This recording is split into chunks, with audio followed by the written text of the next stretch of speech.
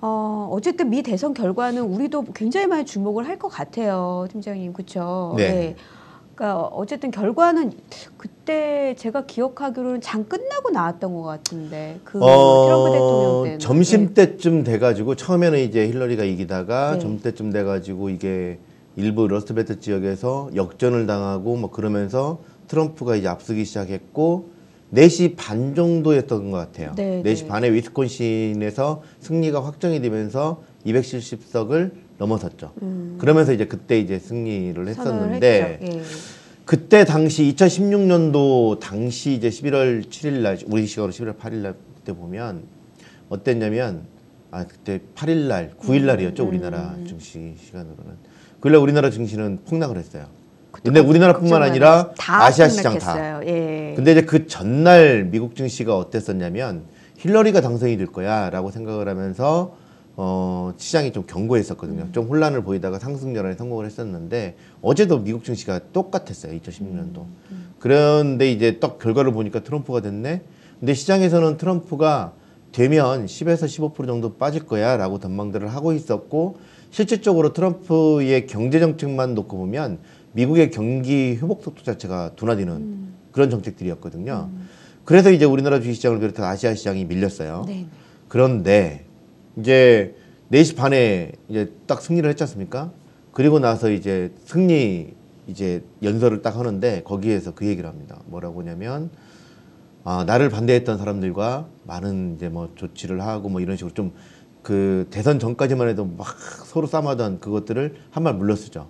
그러면서 그때부터 이제 견고하게 상승을 했었고 그 다음에 우리나라 주식시장도 강세를 좀 네. 보였잖아요. 예. 그리고 해서 트럼프가 당선이 됐고 사실은 의회 선거에서도 그때 민주당이 승리할 수도 있었는데 공화당이 다 장악을 했었거든요. 어 그러다 보니까 이제 거기에서 이제 법인세 인하가 음, 음. 이제 논의가 되기 시작했고 2007년도에 예, 2017년도에 법인세 인하를 단행을 하면서 그때부터, 그때부터. 폭등을 네, 했던 거죠. 네. 네, 시장이 그래서 트럼프 대통령이 당선이 된 거가 이제 시장이 좋았더라기보다는 그 그때 당시 이제 그 공화당이 상하원을 다 장악을 하면서 법인세 인하라는 조건. 음.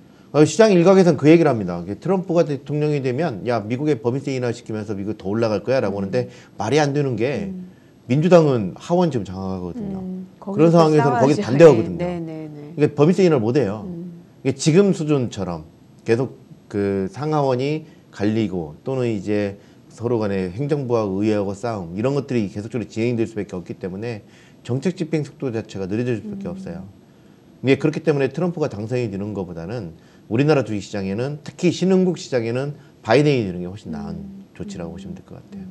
그러면 이제 시장에서는 야 그러면 언제 이게 되냐라고 하면 제가 이제 텔레그램에다가 그 일정들을 쭉 올려놨어요. 네, 네. 이제 이거를 보시면 될 것 같습니다.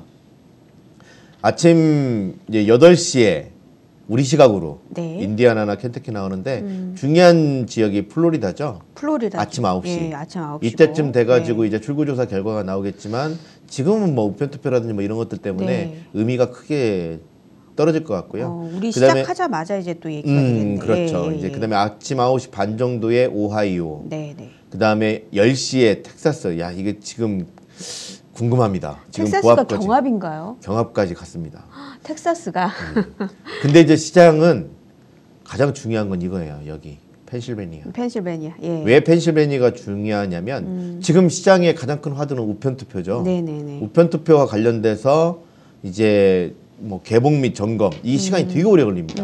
사인을 다 확인하고 어쩌고저쩌고 하는 것들 때문에 그 다음에 표를 이제 작업을 하는 건데 시- 오늘 이게 11월 3일 이전에 이미 이제 이와 관련돼서 우편 투표의 개봉 및 점검을 했던 곳들이 보면 플로리다 아, 플로 예. 이런 데가 있기 때문에 플로리다 같은 경우 좀 많이 이제 주목을 받고 있잖아요. 네, 네. 여기 같은 경우는 어, 현장 투표하고 거의 비슷하게 개봉이 될- 것 어, 같습니까? 같고요. 어, 예. 중요한 건 펜실베니아가 없어요.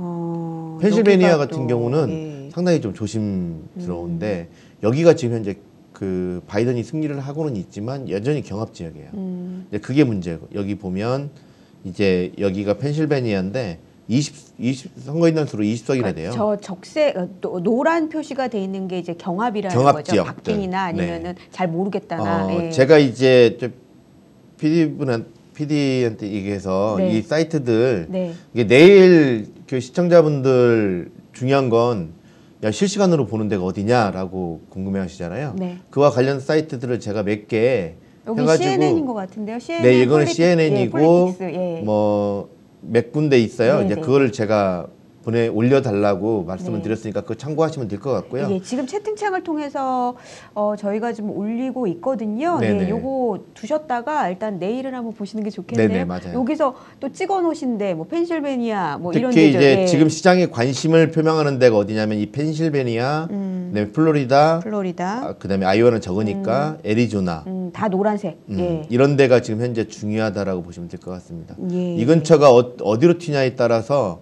좀 많이 바뀔 것 같은데 오하이오 같은 경우는 지금 현재 트럼프 쪽으로 넘어가는 것 같고 위스콘신이나 뭐 이런 데도 좀 다시 바이든 쪽으로 넘어오는 것 같고 음, 근데 이제 중요한 건 이게 중요한 게 아니에요. 네.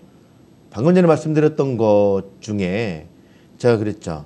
blue wave가 다 돼야 되는 경우. 음, 자, 근데 이쪽 그 상원 네. 상원 선거 중에 네. 이 애리조나, 네. 애리조나하고 이 조지아, 음, 그 다음에 아이오와, 네.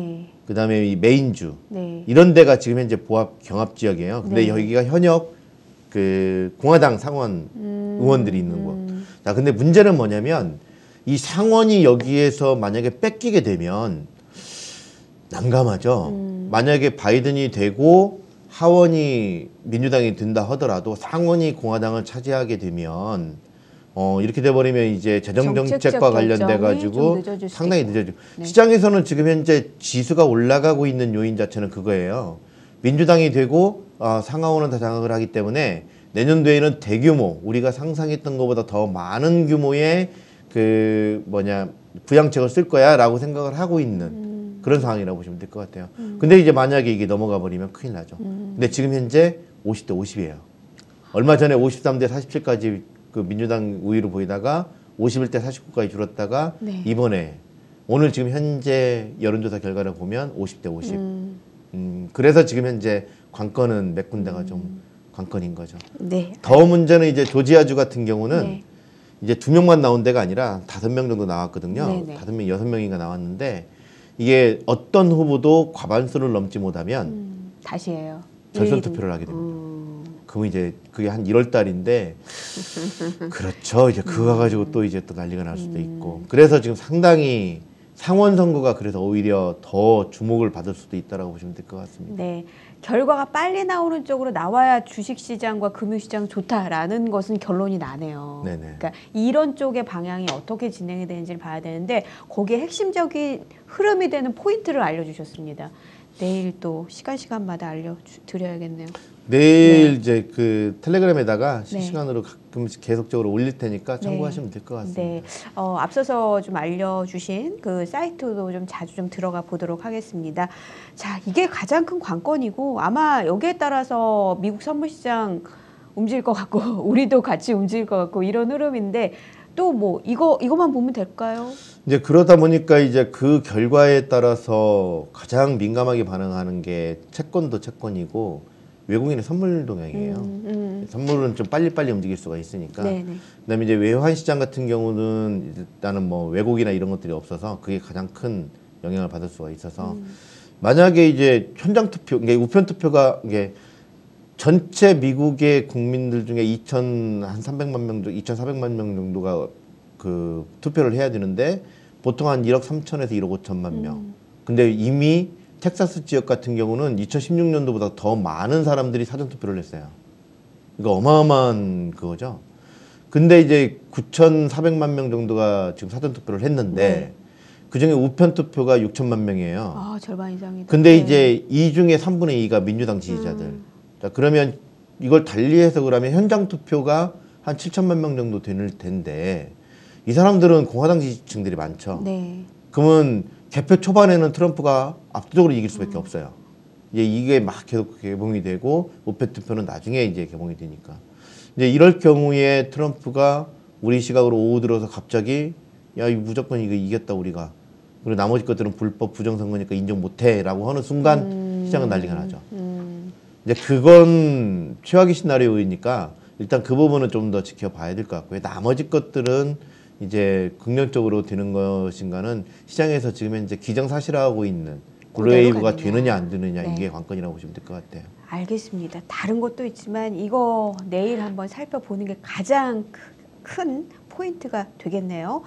자 여기까지 해서 마감 음, 결과 말씀드리면서 인사드리겠습니다. 어차피 팀장님 내일 아침에 또 나오셔서 말씀해 주실 거니까 이렇게 좀 정리를 해보면 될 것 같습니다. 가장 큰 포인트 말씀을 드렸어요. 국내 선물 옵션 신규 휴면 고객이라면 수수료 0원. 최대 6개월 수수료 할인 받으세요. 12월 31일 체결분까지 수수료 0원 적용됩니다. 선물 옵션 거래 시 원금 초과 손실에 유의하세요.